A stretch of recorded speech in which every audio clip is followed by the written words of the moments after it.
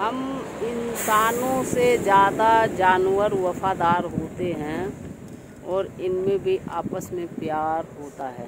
देखो, झगड़ा भी होता है तो प्यार भी होता है। अभी देखो, एक गाय दूसरे गाय को ऐसे चाट रहा है। इनका प्यार भी बहुत अच्छा होता है, इनका झगड़ा भी बहुत भयंकर होता है। झगड़ा होता है तो कोई समझा नहीं सकता इतना भयंकर वाला जिनका झगड़ा होता है। और ये नीम का पेड़ है और यहीं पे सारी के सारी गाय आराम से बैठी हैं। बैठे हैं, खड़े हैं, आराम कर रहे हैं, कुछ धूप में जाके घास खा रहे हैं।